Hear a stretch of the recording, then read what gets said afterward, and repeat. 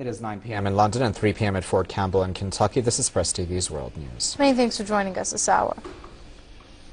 Well, anti-government protests flare up in eastern Saudi Arabia. The protesters took to the streets of the city of Qatif. They chanted slogans against Bahrain's ruling Al Khalifa family in solidarity with the popular protests there. The demonstrators have been demanding the Saudi regime pull its forces out of Bahrain over the past weeks. The protests come despite a harsh Saudi crackdown on dissent in the kingdom. Riyadh has banned all protest rallies in the country. It has recently arrested scores of protesters and human rights activists. Human Rights Watch has urged all those arrested during anti-regime protests, including human rights activist Fadil al-Manasif, to be released. In Bahrain, several protesters have been arrested as anti-regime rallies continue across the Persian Gulf Sheikhdom. Reports say a large number of protesters in the village of Akir have been detained by Saudi-led forces. This as protesters have taken to the streets across the country to condemn Saudi Arabia's deployment of more troops and tanks there. Bahrain has, for several weeks, been under a strict martial law imposed by the ruling Al Khalifa family. This in their bid to stifle the Bahrain revolution. Dozens of people have been killed and hundreds of others arrested in the brutal crackdown that started back in mid-February. Also, Talal Abdel Hamid, a member of the opposition Islamic Action Association, has been arrested by Bahraini forces. Meanwhile, a prominent lawyer from the Human Rights Watch has been denied entry into Bahrain. The Bahraini regime says that Joshua Colangelo has been refused entry because of the kind of work he does. In Yemen, anti-government protesters have once again held mass rallies against the empaneled President Ali Abdullah Saleh.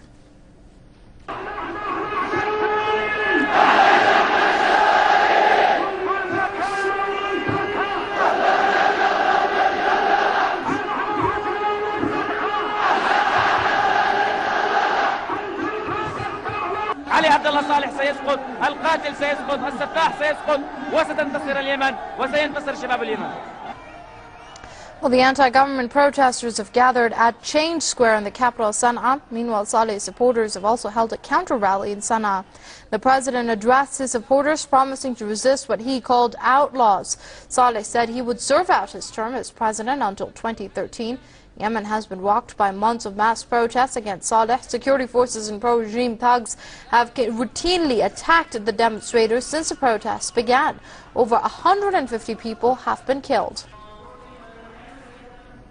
Well, earlier we spoke to Professor Ahmed Al-Abbasi of Sana'a University, and he gave us more insight on the Yemen re revolution. The United States and the European Union they are still now with Saleh because they didn't even condemn, you know, the, the, the, killings of hundreds of Yemenis until now.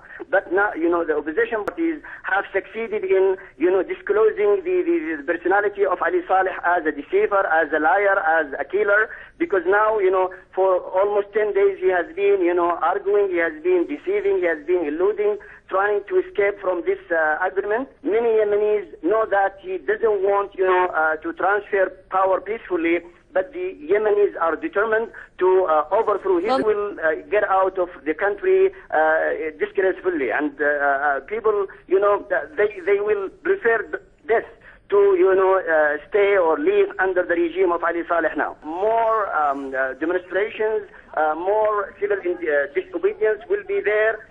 so many things will be you know happen in the coming days to show that the, the, the people do not want Ali Saleh to stay in, in power. In Egypt, hundreds of people have held a protest against Israeli policies. The protesters gathered in front of the Israeli embassy demanding the expulsion of Israeli ambassador from their country. The demonstrators also expressed their support for Palestinians. They called for immediate opening of Rafah border crossing into the Gaza Strip. Just a few days ago, Cairo announced a plan for permanently opening the border crossing with Gaza within days. Egypt has already warned Israel against interfering with its plan ousted Egyptian President Hosni Mubarak kept the crossing closed since Tel Aviv imposed a blockade on Gaza in 2007. Professor of International Law Marwan Al-Ashal tells us more about the Camp David Treaty between Israel and Egypt and the possibility of Cairo downgrading its ties with Tel Aviv. What has Egypt done is after uh, the decision of the International uh, Court of Justice uh, resolution has been issued uh, for the separation wall. Egypt has supported Israel with cement, uh, metal and steel, and gas. The Egyptian uh, Administrative Court has issued a decision that, it's, that this action is called an act of a prince. I would think the coalitions would be based on just, on just alliances not on fake alliances. The fake alliance is the one that's been ongoing for the Mubarak rule, which was very unfair to the Egyptian economy and to the Egyptian role in the area. The alliance based on the peace treaty 1979 between Egypt and Israel. On this peace treaty, or the Camp David treaties, um, we are not mandated to take um, the, the most measure of cooperation. There are 15 points on the graph that could be taken by the Egyptian government starting with, uh, with, uh, with reducing uh, the diplomatic uh, delegation and ends by cutting the diplomatic delegation.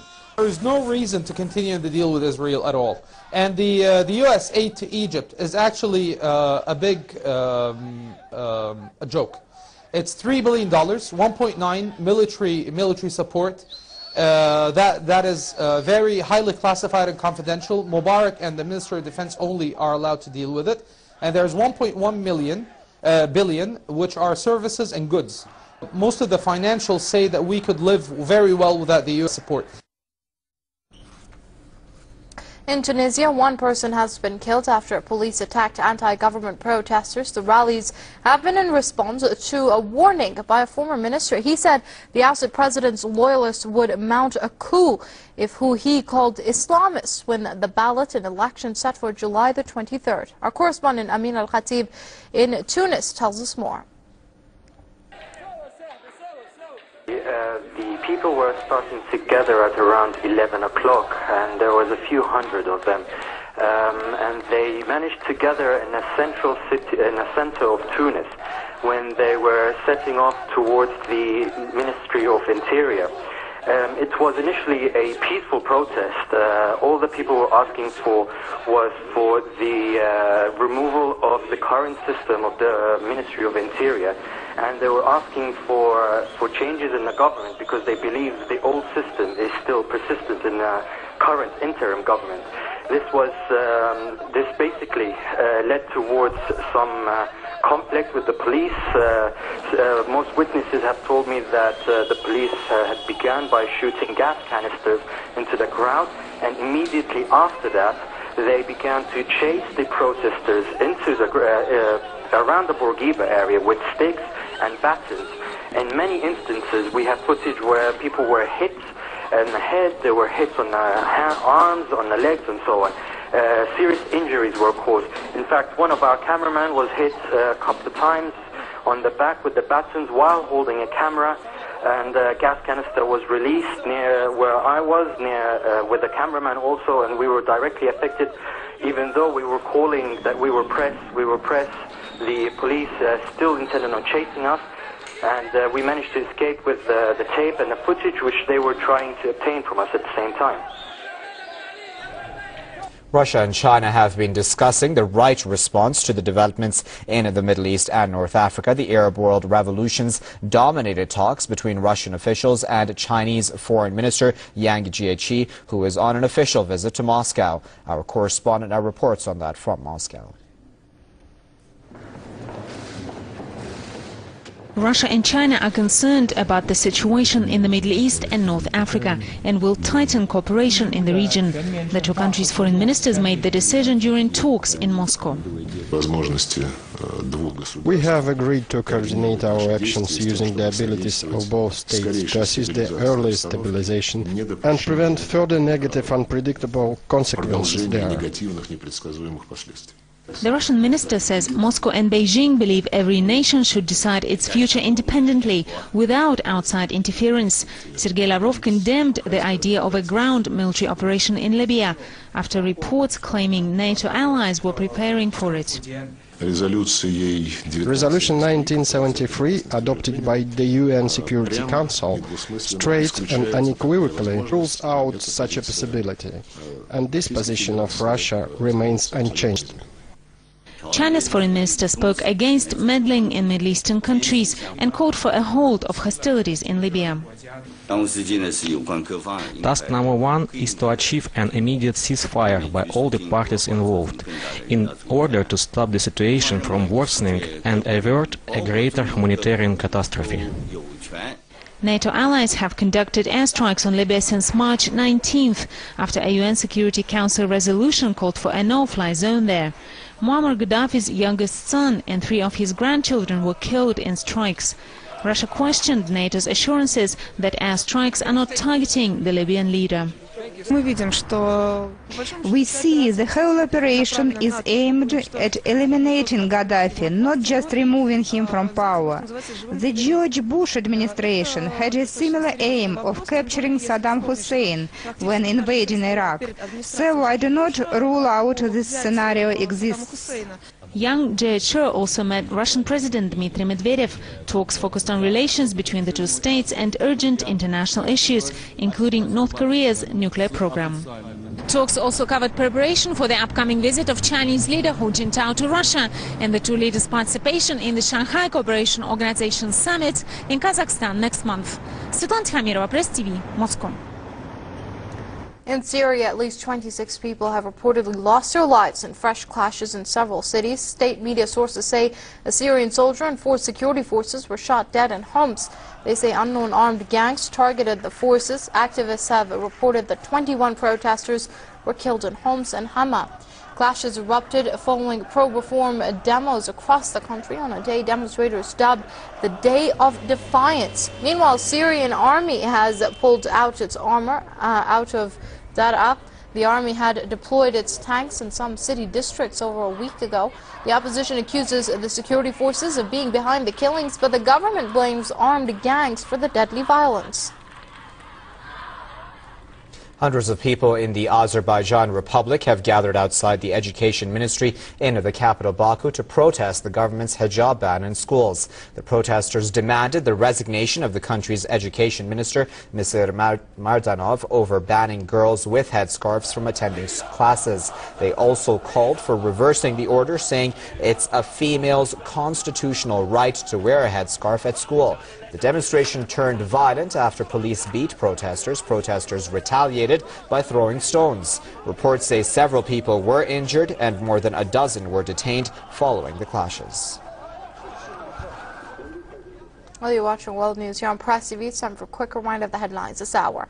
Hundreds of people in Saudi Arabia protest against their country's military intervention in Bahrain.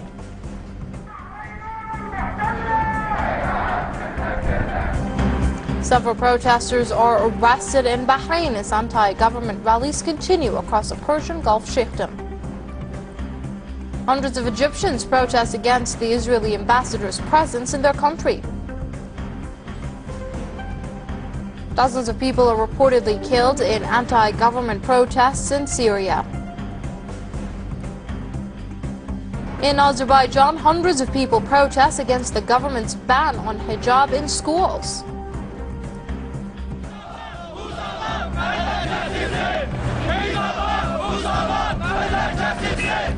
And